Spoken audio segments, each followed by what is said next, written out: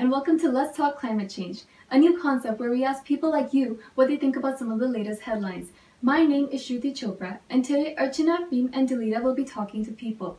The first headline is Drought in Czech Republic visible from space. Czech Republic faces a worst drought in 500 years. The current situation is considered extreme for agriculture and nature, especially if it persists. ESA satellite data is being used as a monitoring device. Now let's hear what people have to say. Benvenuti a World Climate Change News. Sono Diletta e qui con me oggi c'è un ospite speciale, il dottor Pasquale Occhilupo, studente presso la Facoltà di Scienze e Gestione della Natura dell'Università di Bologna. Salve a tutti. Vorrei partire eh, parlando di una delle ultime notizie riguardanti l'attuale situazione di siccità della Repubblica Ceca, la peggiore degli ultimi 500 anni e visibile anche dallo spazio. Cosa ne pensa a riguardo? Beh, la Repubblica Ceca sta affrontando appunto una crisi a livello ambientale dovuta appunto a questa siccità, la peggiore di uno appunto degli ultimi 500 anni, e che ha causato anche una differenza anche del 30% di alcune aree rispetto ad altre aree già presenti. Questo è un danno sia a livello agricolo che a livello di biodiversità ed è un chiaro esempio appunto dei, degli effetti dei cambiamenti climatici che sono appunto in atto. Perfetto. Eh, assolutamente d'accordo. Hello all. Welcome to World Climate Change News. I'm Archana and today Mr. Vivek from Mumbai, India he will be joining us on this channel. Hello Vivek, hope you are doing well. Hi Archana. So let's get started with our news. The first news is drought in Czech Republic is visible from space. Vivek, what do you think about the situation of Czech Republic citizens? Since, uh, well, uh, I think the situation seems dire because uh, since uh, uh, since it is visible, a drought that is visible from space, so it uh, itself underlines that um, the situation is somewhat dire and so the citizens there uh, uh, would definitely be in uh, would be in trouble. That's what i think. Apart from that there is a harvest and drinking water problem as well. Of course. Well uh, we all are experiencing such serious alarming situations and damage which are happening to environment currently. Uh, what do you think could be a possible reason for such events which are happening frequently uh, the reasons can be uh, many. Uh, first one that uh, comes to my mind is uh, the overexploitation of water and uh, specifically groundwater resources. When you when you start exploiting the water too much, then it gets depleted and creates a drought-like situation such as the Czech Republic that you have just mentioned. Second, the climate change. The climate change aggravates anything the climate change aggravates um, any such extremes like uh, be that drought or flood. So climate change aggravates uh, aggravates both of these.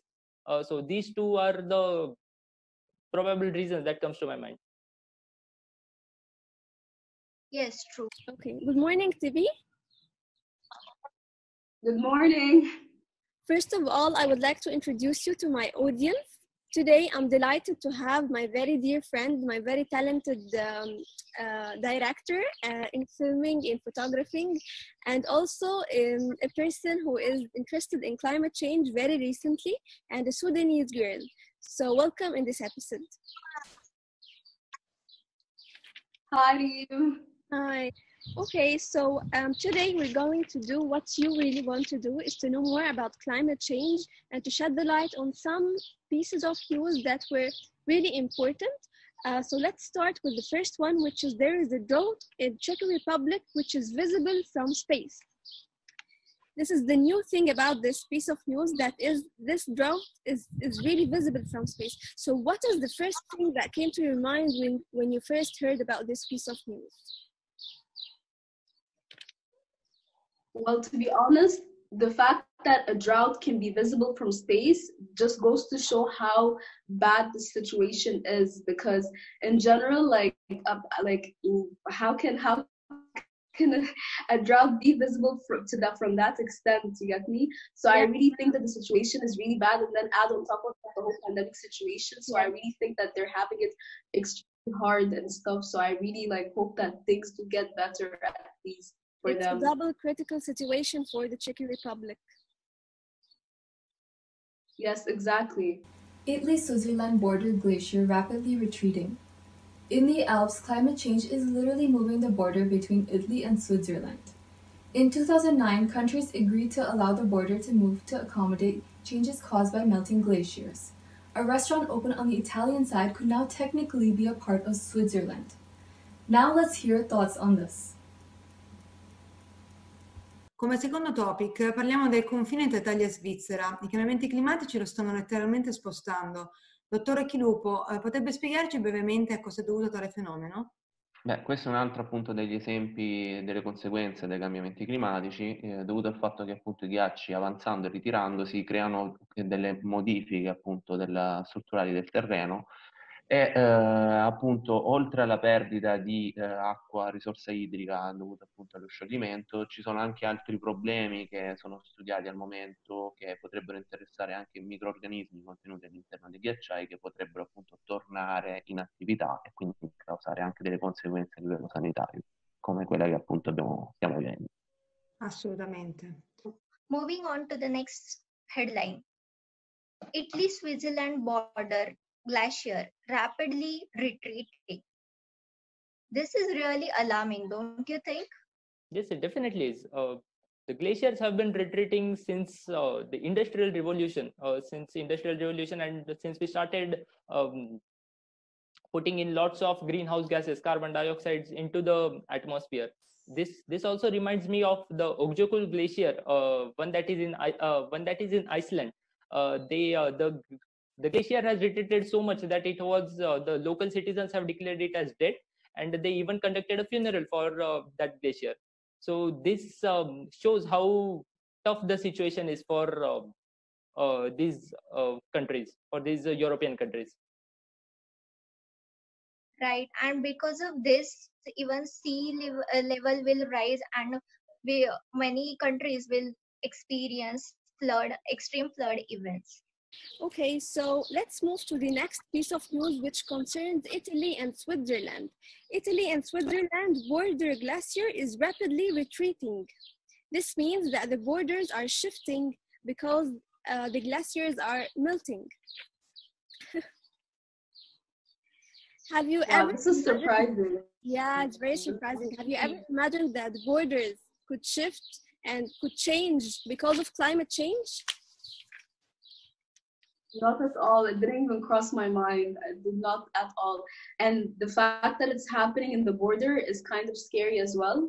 Yes. Very because I, everyone is used to see a beautiful view from like you know when when traveling on the plane and stuff so you get to see that beautiful view so yeah. honestly like i really hope that it like it doesn't get worse than that yeah, yeah. But it's also important to mention that Italy in specific is one of the leading countries in, in raising awareness about climate change because of their last uh, of their last initiative in um, making just P- uh, students study about climate change in their schools. So that was a very great step. Yeah, that's actually very um, interesting. It's good that they're focusing more on uh, on education educating the kids and in general, and especially in school, because I feel like that's very, very important. Denmark to build energy islands. Denmark has announced plans to more than triple offshore wind capacity by constructing two energy hubs in the Baltic and North Seas. The plan is yet to be ratified in Parliament. Wind projects have previously received government subsidies, but costs of building wind farms dropped around 70% since 2012, and so this is no longer needed. Now let's hear comments on this. Infine, eh, parliamo della Danimarca. Eh, nota per le sue iniziative per la lotta contro il climate change, costruirà delle isole energetiche, nello specifico due hub energetici, eh, nel Mar Baltico e nel Mare del Nord. Cosa ne pensa a riguardo? Beh, sicuramente eh, utilizzare risorse energetiche rinnovabili rispetto appunto a quelle a fonte di carbonio è sicuramente la, l'azione più utile per combattere i cambiamenti climatici, perché oltre a diminuire le emissioni di carbonio appunto nell'atmosfera, aiuterebbe anche molti paesi ad raggiungere l'efficienza energetica tale da non dover essere appunto succube di altre potenze nazionali. Ecco. Certo, assolutamente. Perfetto. La ringrazio, dottore Chilupo. Grazie a voi. Alla prossima settimana, ringrazio tutti.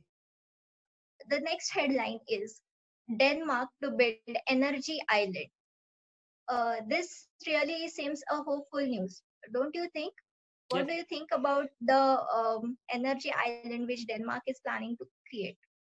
I think it's a, a great news. Uh, a specific and specific entire island uh, for um, renewable dedicated to the renewable energy is uh, is a great news. Uh, the two previous news that you have mentioned are uh, they themselves are representative of how much damage we are doing to the um, our environment. And uh, since we are kind of trying to contain this damage by uh, doing such initiatives such as the Denmark has um, initiated, it's a uh, it is kind of a hopeful uh, step in my opinion.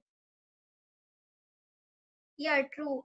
I agree with you to some extent. But what do you think about uh, uh, this? Because we are going to create a full energy island and we will be building an artificial infrastructure on this whole natural space. So don't you think that can also uh, harm environment or this might uh, cause some negative effects uh, to the environment? Yes, definitely, definitely. That's an excellent um, uh, question.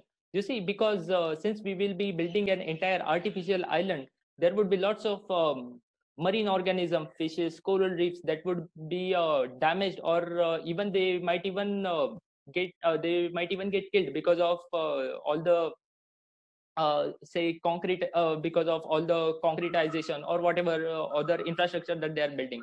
But we have but we can try to limit we can try to limit that in the short range. And in the long term i see this as a kind of an investment to uh, investment for a better tomorrow you see and renewable an entire island uh, of renewable will be um, will be uh, will uh, help in uh, reducing our fossil fuel emissions and uh, that's something that that's how i look at this